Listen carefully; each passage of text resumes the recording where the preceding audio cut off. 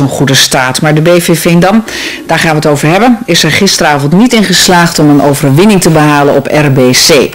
In Roosendaal verloor de ploeg van trainer Martin Koopman met 2-0. RBC is de nummer 3 van de Gouden Gidsdivisie en kan zich laten voorstaan op een indrukwekkende serie sinds de winterstop. Geen enkel punt werd weggegeven en helaas ook Veendam slaagde er niet in om die reeks te doorbreken. Vroeg in de wedstrijd al laat Erdem Jeni zich verrassen. Björn Dalemans kan binnen doorkomen.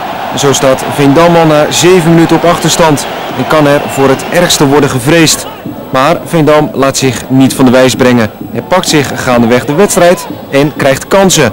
Albeda met het paasje op Klinkers. Klinkers vindt de vuisten van doelman Wim de Ron. Diezelfde Klinkers krijgt even later opnieuw de kans op de gelijkmaker als hij in stelling wordt gebracht door Theo ten Kaat. Dit keer is het niet Wim de Ron die succes in de weg staat, maar Klinkers schiet de bal zelf hoog over. Vindam dus de betere ploeg gisteravond, maar hoe mooi de kansen ook waren, de bal ging er niet in.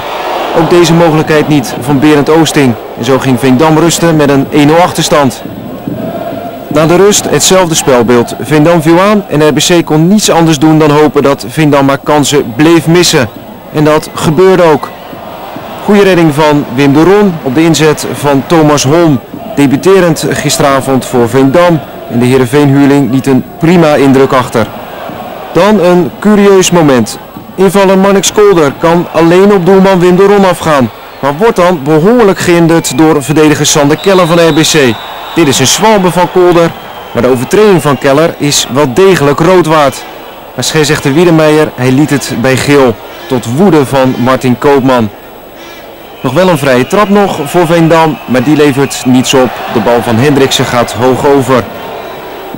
De punten bleven dus in Roosendaal en dat was jammer voor Veendam dat aardig speelde, dat Holm goed zag debuteren, maar het leverde allemaal geen punt op. Een kwartier voor tijd wordt de eindstand op 2-0 bepaald. Henk Vos kopt terug op Gijs Kalis, de invaller. En dan is het pleitbeslecht voor Veendam. Een 2-0 nederlaag tegen RBC.